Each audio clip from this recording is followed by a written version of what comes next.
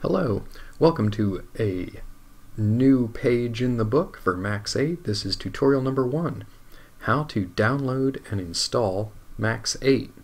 We're really going to do it, so let's just get right to it. We'll go right over to Cycling 74.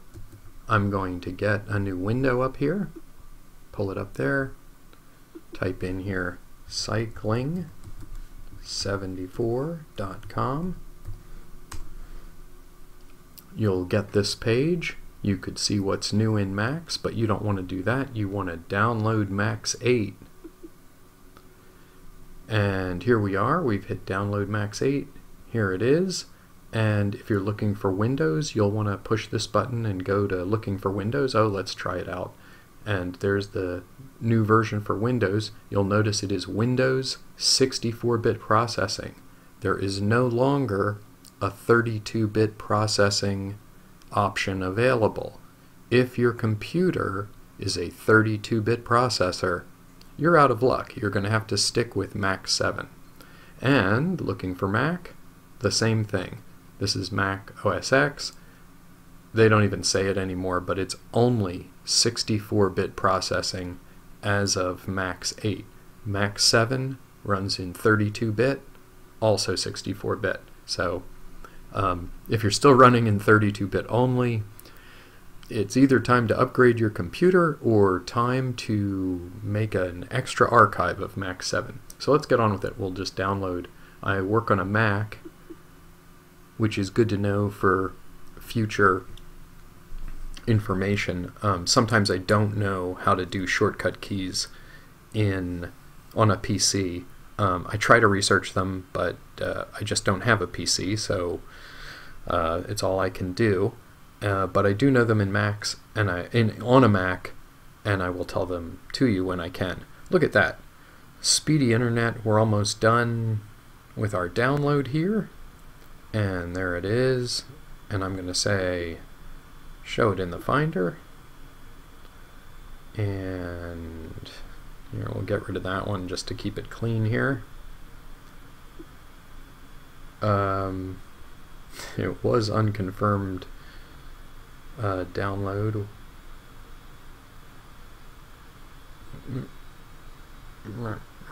There it is. Okay, so there's our Max 802 disk image.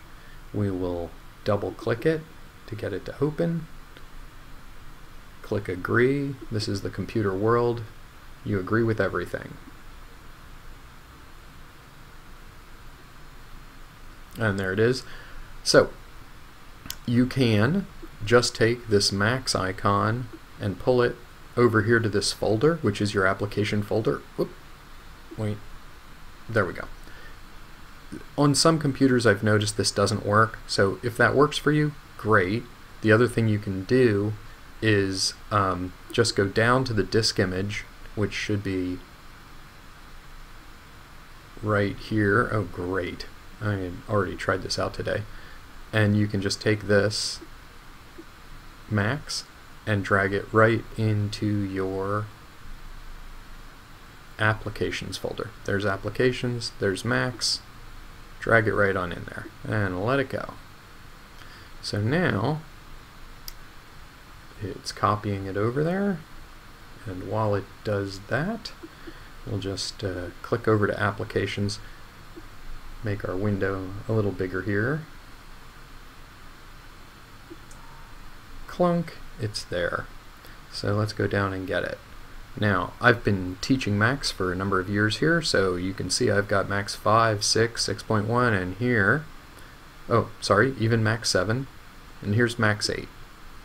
Alright, one of the things that I like to do um, is to pull the icon right down here into the uh, dock in a Max, in a Mac. I wish I could stop saying that. And um, we're going to go ahead and launch it. You'll notice Max 7 is running.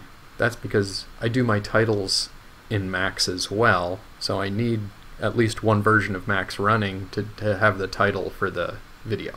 So let's launch Max 8, and if you don't know how to keep this in the dock, if you've already launched the application, you just hit the control key and you click on this you go up to Options, and you say, um, here it would say keep in dock. Now I would have to remove it from the dock is my only other option because it's already staying in the dock. So there we go. Let's launch it.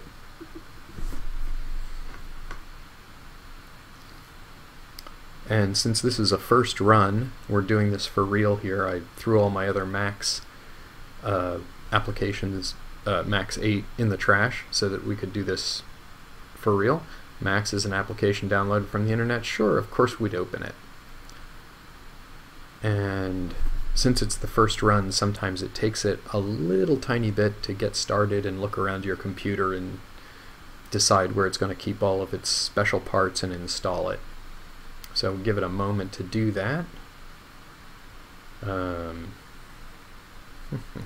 hopefully I didn't click on the Chrome window.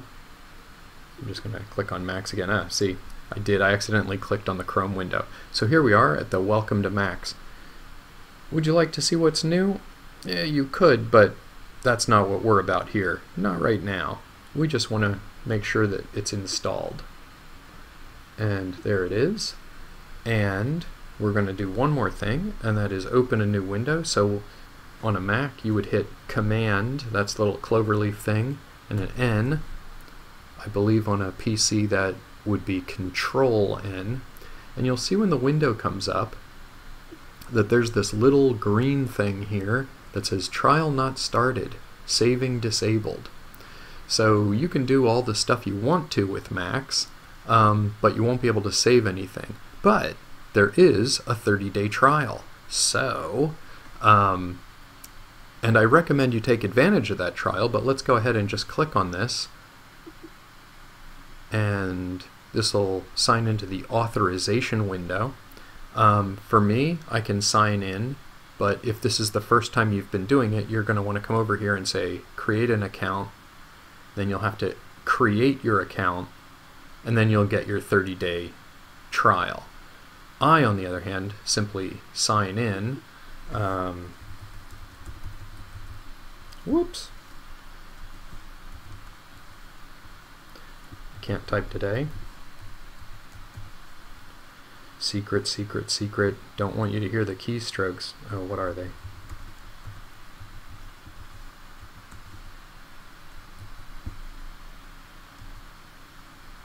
Let's see if I get it right there.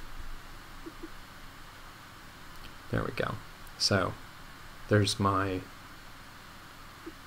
license, which I already bought before, and, and there we are. I'm all done. So I've authorized Max, and you'll notice when you come back to this window, there's no little green thing there. So that's it. Max is now installed on our computer, and I think that's enough for today. I'm going to show you how to get started in Max in the next video. But uh, that's all for today. I will see you in the next tutorial. Thank you for watching.